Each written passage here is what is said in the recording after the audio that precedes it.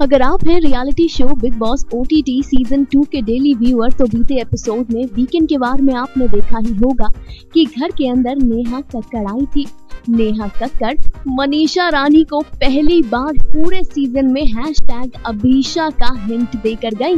नेहा ने मनीषा से कहा, आप सबसे फ्लर्ट करती हैं, लेकिन आप अपने बेस्ट फ्रेंड से फ्लर्ट क्यों नहीं करती? जिस पर अभिषेक शर्मा गए। तो मनीषा रानी ने जवाब दिया कि इससे कभी फ्लर्ट वाली फीलिंग ही नहीं आई। जी हाँ नेहा कक्कड़ ने मनीषा रानी को अभिषेक से फ्लर्ट करने की सलाह दी। वहीं जब अभिषा फैंस ने ये सुना तो उन्होंने नेहा कक्कड़ पर खूब सारा प्यार बरसाना शुरू कर दिया।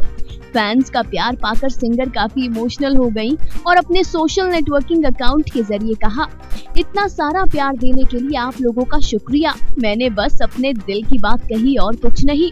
जी हाँ नेहा भी Bigg Boss O T T two देखती है और नेहा कक्कड़ भी। हैश टैग अभीशा शिपर है।